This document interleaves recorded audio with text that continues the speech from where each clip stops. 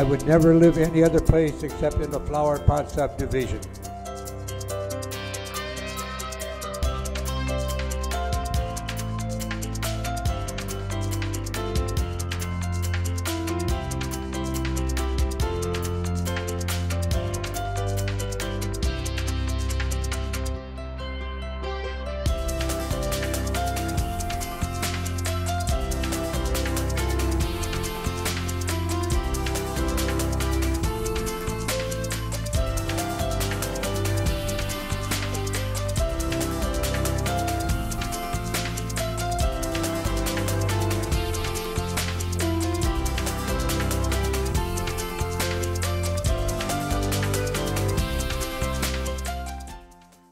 And that was in 1911 that they purchased the 160 acres.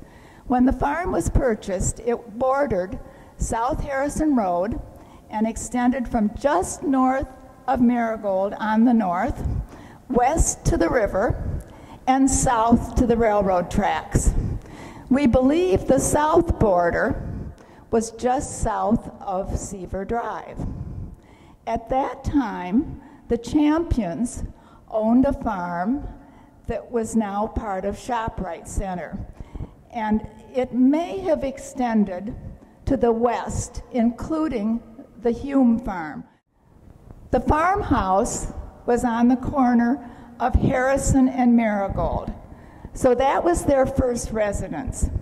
Our parents were married in 1916, and by 1918, our father built his house at 818 South Harrison, and that was just south of the farmhouse. I had to think a minute there.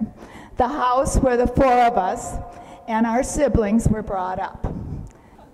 Well, the first memory that I can remember is my brother and I peddling papers, and we peddled all the way from Michigan Avenue to uh, Mount Hope Road. So we knew the names of every person in that distance.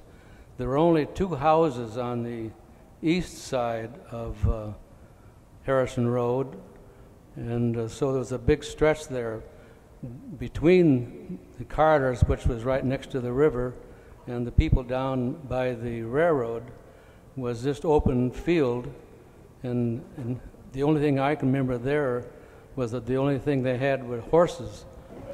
The house was a former small hotel where the Pere Marquette and Grand Trunk railroads crossed.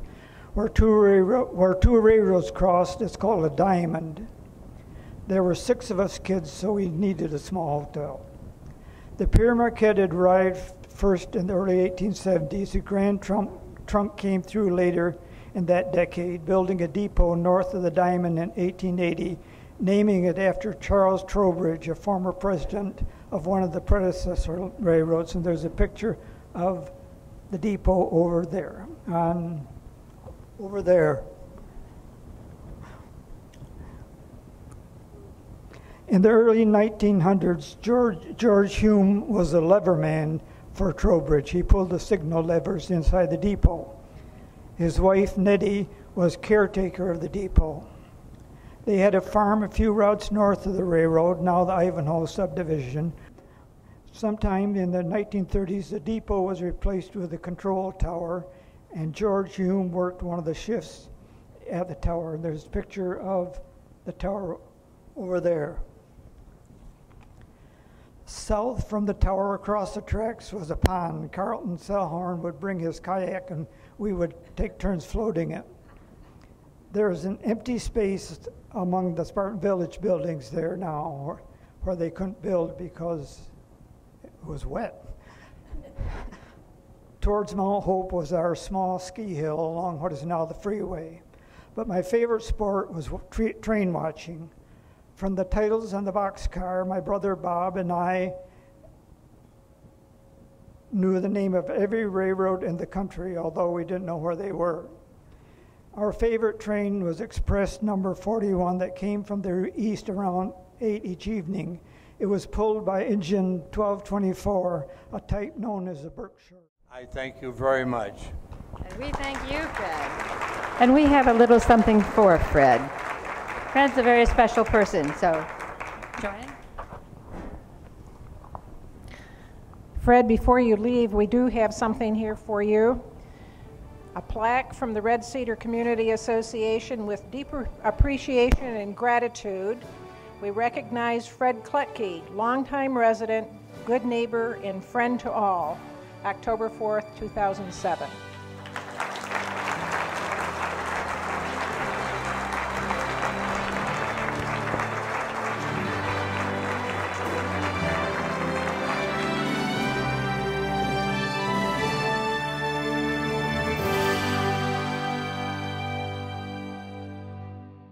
I want to talk about three areas um, of space that really defined my childhood.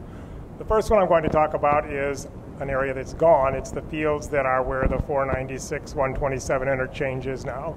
That freeway construction started in 1962, but for five years I had the delightful privilege of, of playing in those fields, of digging holes in the gravel pits, sledding down hills, catching tadpoles, walking in echo pipe, doing all the kinds of wonderful things that you read about maybe in Huckleberry Finn. And it's amazing to me to think that I was lucky enough to have those kinds of experiences here growing up. Uh, we even uh, helped put out fires that trains started, and for good measure, I once started a grass fire myself back in those fields. Um, the second place I want to talk about is the playground for this school because the playground for this school, after the fields were gone, particularly, became a very important place for me, a very important space for me and for the other kids, mostly boys, but not all boys, uh, for after school and weekend recreation.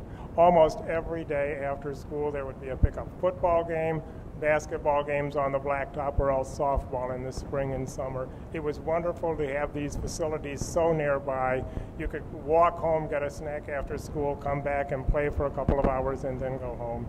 It was really terrific, and you got to meet a lot of kids that way, and these were unsupervised sports, so we had to sort of make our own refing decisions.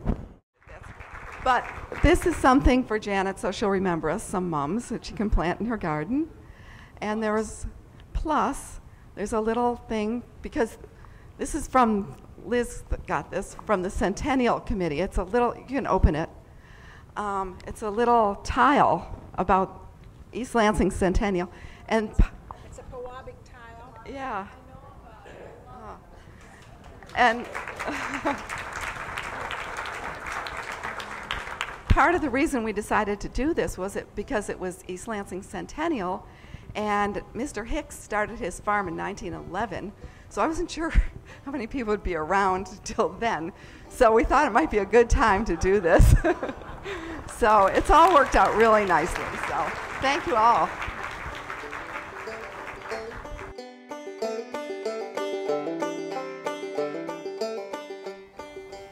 As we walked uh, from Oodles of Noodles over here, the church played for the beauty of the earth. And I thought, how appropriate, because we're in a beautiful spot of the earth tonight. We've seen a lot of people come and go, and um, some of them say they wish they hadn't left. This is one of the nicest neighborhoods that I know of.